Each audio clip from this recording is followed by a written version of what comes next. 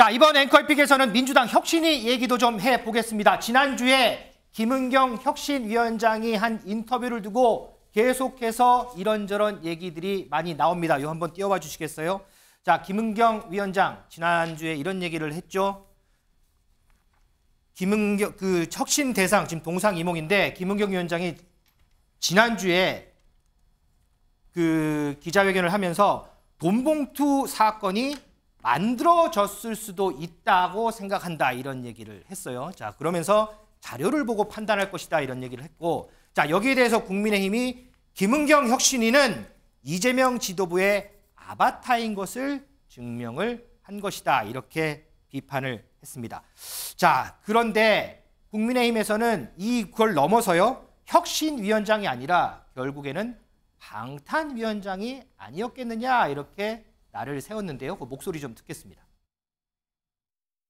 그러니까 제가 볼때김 김은경. 위원장이 그저 돈봉투 사건이 만들어진 것일 수도 있다라는 그 의식을 그런 인식을 갖는 것 자체가 이제 제가 볼 때 혁신위원장으로서 과연 적합한 것인가라는 의문을 제기할 수밖에 없고요.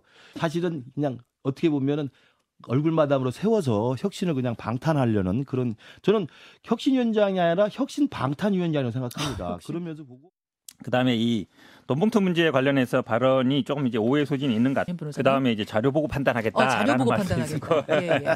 근데 이게 뭐 없는 사건을 만들었다 이런 의미는 아닌 것 같고요. 저도 이제 방송에서 계속 그래서 김은경 위원장이 말한 만들어진 기획된 것일 수 이게 있다는데 그럼 정치적인 의도가 동의하세요? 좀 있다고 보는 거예요. 그러니까 결국 허재현 변호사. 그런데 김은경 위원장 발언 관련해서 뭐 국민의힘뿐만 아니고 내부에서도 좀 비판이 나오죠 지금. 네, 지금 우원식 의원이 김은경 위원장이 섣불리 현안에 대해서 개인 입장 밝히는 거 적절하지 않다라고 비판을 했고 네. 또 이게 부풀리기로만 보기에는 국민적 기대감을 미치지 못한다, 실망감이 크다 이렇게 얘기를 했거든요. 그럴 수밖에 없는 것이 사실 이 돈봉투 의혹 이것은 당 대표가 사과를 하고 공정하고 철저한 수사를 촉구한 사안이기도 하고요. 또 혁신이가 출범하게 된 어떤 결정적인 계기가 된 사건 중에 하나인데 위원장이 굉장히 진통 끝에 지금 임명이 됐는데 첫 일성으로 이것이 만들어진 것일 수도 있다 이렇게 얘기를 한다 는 것은 사실상 국민 눈높이에도 맞지 않고 혁신의 어떤 본질적인 의미에도 맞지 않는 부분이라는 생각이 듭니다.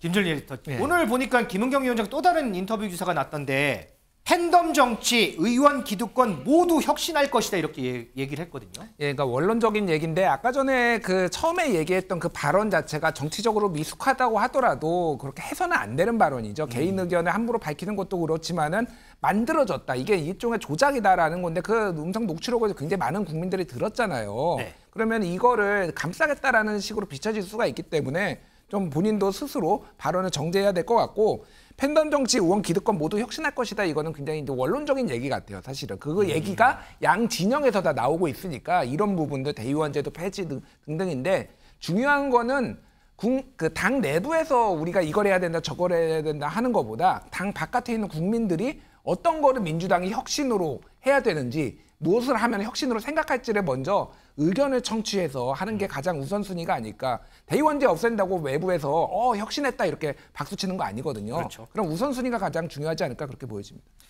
자, 김은경 위원장 뭐 혁신 의지를 재확인했다 이런 해석도 나오는데 그런데 당내에서는 아직도 반신반의하는 목소리들이 있습니다. 좀 듣고 오겠습니다. 전 금감원 부원장이 임명됐는데요. 자 어떻게 평가하십니까? 음, 어, 반신반의 하고 아, 있습니다. 반신반의. 돈봉투 사건이 만들어졌을 수도 예. 있겠다는 생각이 든다. 이런 발언은 사실 국민들이 보셨을 때는 좀 기대감을 확 꺾어버릴 수 있는 음. 발언은 맞거든요. 다른 언론사랑 한 이제 일문 일답 같은 인터뷰가 있던데 네네네. 거기에서는 이제 민주당의 문제점을 잘 정확하게 지적을 하시더라고요. 뭐 음. 팬덤 정치도 예, 문제가 있다고 보고 예, 예. 원칙을 세워서 제대로 해나가겠다라고 이야기를 하신 만큼 또 이분이 어떤 길을 걸어가실지 음. 좀 기대감을 갖고 지켜볼 수도 있는 여지 가 있는 것 같습니다. 예.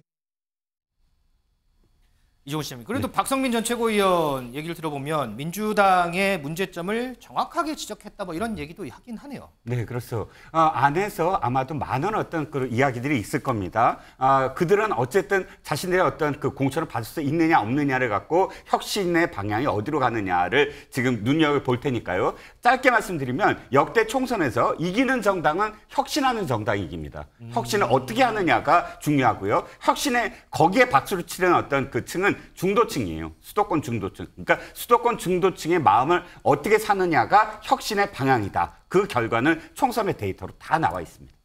자, 민주당이 오늘 오후인가요? 내일인가요? 혁신이 관련해서 뭔가 또 발표가 있다고 하는데 저희가 그거 좀 취재 잘 해서 내일 좀 전해 드리도록 하겠습니다.